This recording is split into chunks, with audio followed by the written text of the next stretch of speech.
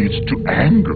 Anger leads to hate. Hate leads to suffering. Open your mind. My friends and loyal subjects, we have worked together to overcome the greatest physical hardships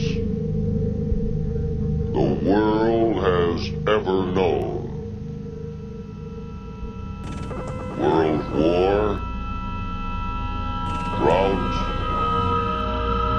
Famine,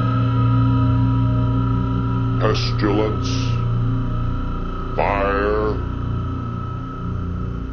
earthquakes, and volcanoes of unprecedented violence.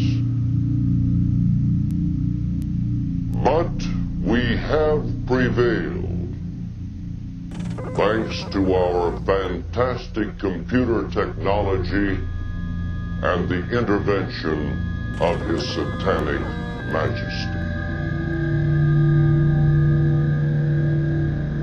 Where, dear friend, was the loving God of creation during our recent perils?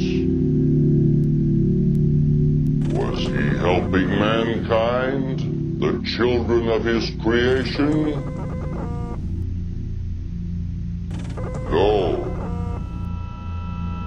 On the contrary, it is He who has visited these disasters upon us.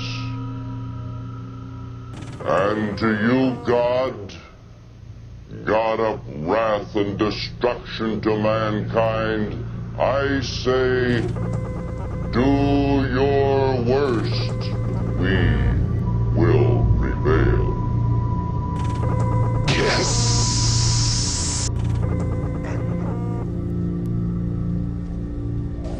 nothing that I say.